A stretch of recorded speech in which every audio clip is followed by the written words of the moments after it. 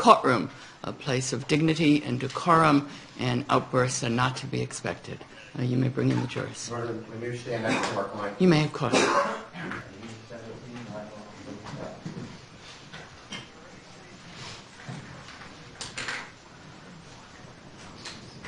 Ma.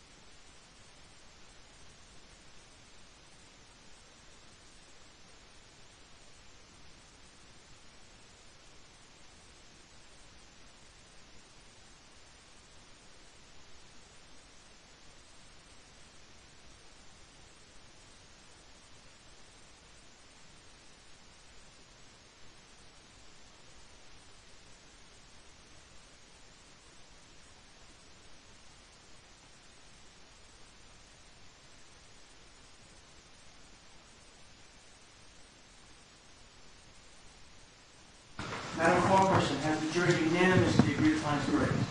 Yes. Mr. Trinley, papers to the court.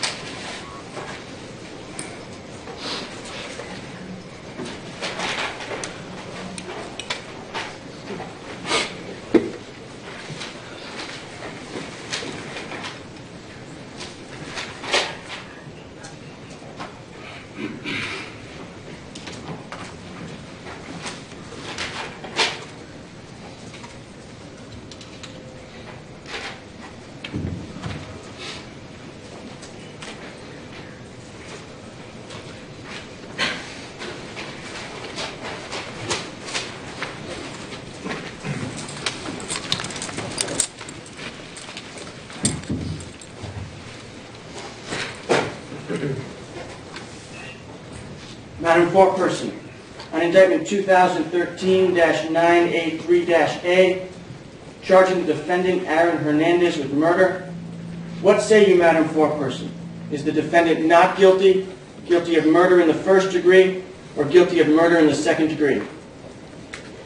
Guilty of murder in the first degree. Madam Foreperson, by which theory or theories deliberate premeditation and/or extreme atrocity or cruelty? Extreme atrocity or cruelty.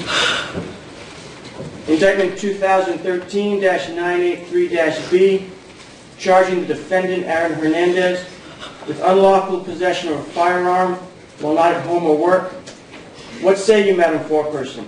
Is the defendant not guilty or guilty? Guilty. Indictment 2013-983-C, charging the defendant Aaron Hernandez with unlawful possession of ammunition. What say you, Madam Foreperson? Is the defendant not guilty or guilty? Guilty. Your Honor, may uh, the jury be polled on count one pursuant to Rule 27, please? Hey,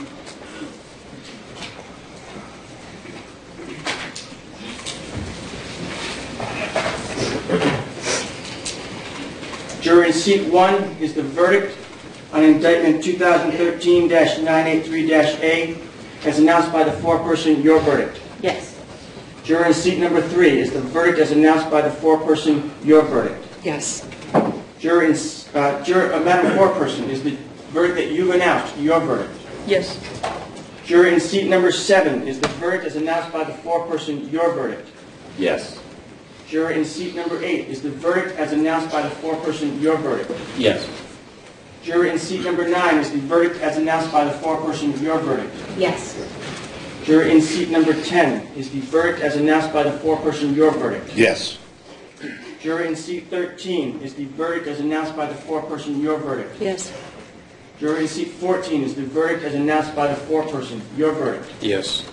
Jury in seat 15 is the verdict as announced by the foreperson, your verdict. Yes. Jury in seat 16 is the verdict as announced by the foreperson, your verdict. Yes. And jury in seat 18 is the verdict as announced by the four-person, your verdict. Yes. Be seated, please, jurors. Uh, Please remain standing. Thank you. May the verdicts be recorded. amen. Members of the jury, hearken to your verdict as it will be recorded by the court. Upon your oaths, you do say the defendant Aaron Hernandez is guilty of murder in the first degree on indictment 2013-983-A under the theory of extreme atrocity or cruelty.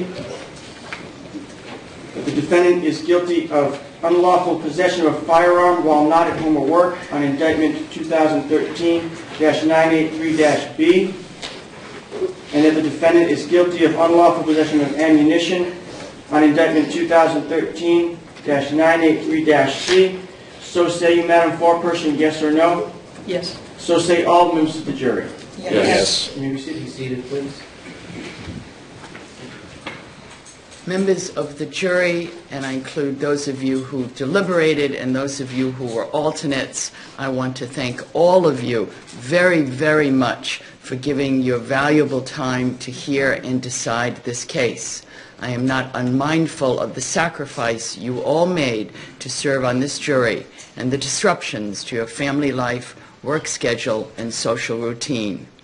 I also understand that it is not easy to sit in judgment of a fellow human being. Your contributions were essential to the functioning of our judicial system. There are few things more important that a citizen in a free and open society can do than serve as jurors for their peers.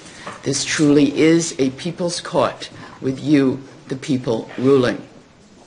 At this time, you're all discharged and free to leave. I do um, have one last favor to ask of you.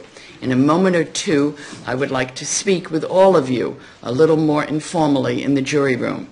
Um, I will be thanking you again for your service. I cannot and will not discuss the contents of your deliberations with you. That is personal to the 12 of you who deliberated, and the court will not be inquiring about that. I also want to tell you that under our state law, after the verdict has been recorded, uh, the court's list containing the names of the 12 deliberating jurors is a public record.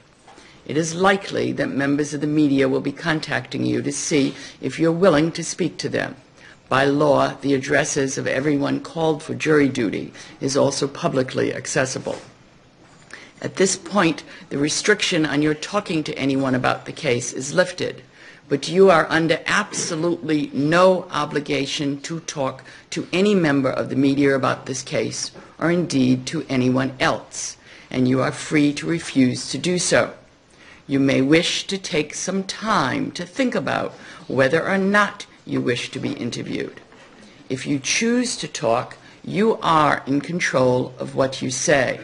In other words, you may decline to answer certain questions and answer others.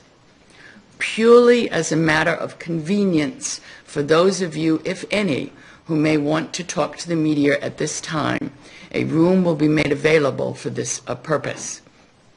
The media who have been regularly covering the case and who are uh, present have represented to the court that they are not likely to otherwise contact any juror who makes himself or herself available um, in that uh, room uh, to be interviewed, and they're also not likely to contact any juror who comes into the room and expresses a wish not to be interviewed.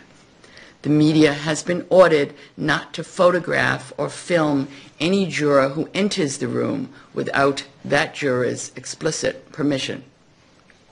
We will have a bus to take those of you who wish to leave immediately to the parking lot, and a second bus leaving later, should any of you choose to go downstairs to the room that has been set aside. You can choose to walk to your car if you wish. I do, however, expect that there will be a large contingent of media and others in the front of the courthouse, many with cameras, so you should be aware that if you opt to walk outside the front door, you are likely to be approached and or photographed. If you choose to talk today or at any future time, please consider that your deliberations were conducted in secret in order to encourage free, open, and candid debate in reaching a verdict. As one United States Supreme Court justice wrote in a decision, freedom of debate might be stifled and independence of thought checked if jurors were made to feel that their arguments and ballots were to be freely published to the world. Given the strong interest in the freedom and independence of jury deliberations, even if you choose to talk to the media, you may refuse to disclose what went on in the jury room and may well think it better and more prudent to decline to discuss what occurred in the jury room. I strongly urge, but do not order, you to keep the contents of the jury's deliberations private and confidential, and not to discuss what anyone in the jury room may have said. I'll be back to talk to you a little more informally in a few moments. Thank you. All right.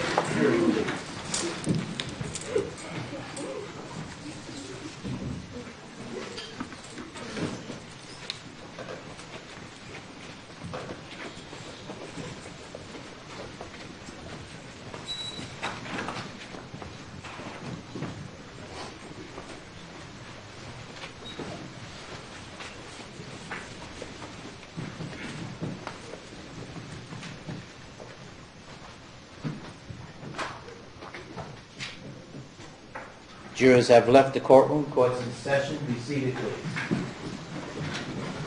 We can proceed to sentencing after I uh, speak with the jurors, uh, unless you uh, believe if someone's going to make a victim impact statement, if they may need a few more minutes. Uh, Yes, Your Honor, if we could have a few minutes, please. Okay, so it's 10:30. um, We would move for sentencing and whatever the court wishes for the time.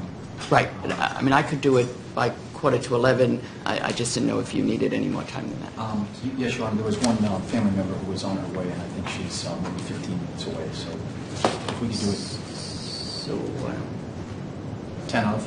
10 of 11. Thank Thank you you. very And much. if there's a problem, if you need an extra five minutes, if you could just let the clerk know. Appreciate it. Thank you. Thank you. Court all rise. Court's going to stand in recess.